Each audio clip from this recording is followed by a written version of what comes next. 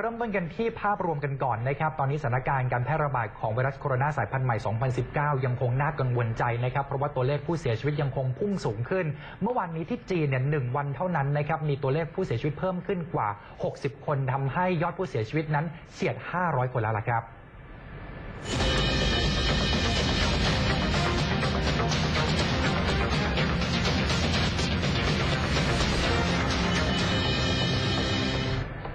มีรายงานเข้ามาจากคณะกรรมการสุขภาพของประเทศจีนนะครับ บอกว่าช่วงเช้าที่ผ่านมาเนี่ยข้อมูลล่าสุดคือ มีผู้เสียชีวิตเพิ่มขึ้นเมื่อวันอังคารวันเดียว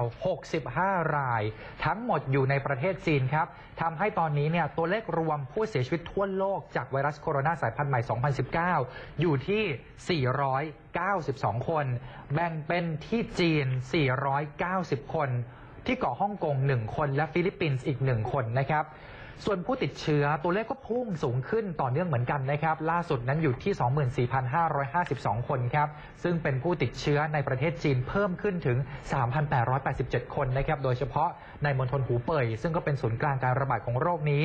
มีผู้ติดเชื้อเพิ่มขึ้นถึง 3,156 คน นอกจากนี้ยังมีรายงานด้วยนะครับว่า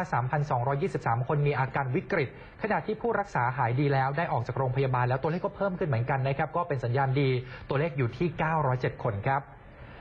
ขณะที่แถลงนโยบายประจำปีของประธานาธิบดีโดนัลด์ทรัมป์นะครับฝากฝั่งของสหรัฐก็มีช่วงหนึ่งนะที่เขาพูดบอกว่าเขาจะให้ความร่วมมือกับประเทศจีน ในการต่อสู้กับการระบาดของเชื้อไวรัส โดยตอนนี้ได้ประสานงานกับรัฐบาลจีน แล้วก็ทำงานร่วมกันอย่างใกล้ชิด ซึ่งคณะทำงานของเขาจะดำเนินการที่จำเป็นทุกทางเพื่อป้องกันพลเมือง จากการติดเชื้อไวรัสดังกล่าวครับ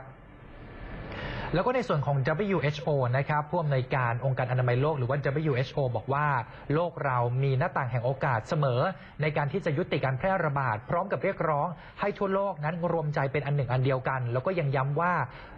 ราวร้อยละ 90 ของผู้ติดเชื้อและเสียชีวิตอยู่ที่ประเทศจีน และมีผู้เสียชีวิตร้อยละ 97 อยู่ที่มณฑลหูเป่ยดังนั้นเนี่ยขอให้ประชาคมโลกอย่าตื่นตระหนกครับ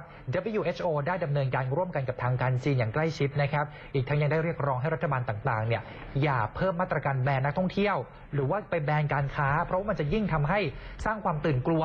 มากจนเกินไป ปัจจุบันนี้มีราว 22 ประเทศนะครับที่ออกมาตรการแบนนักท่องเที่ยวชาวจีนออกมาแล้วล่ะครับ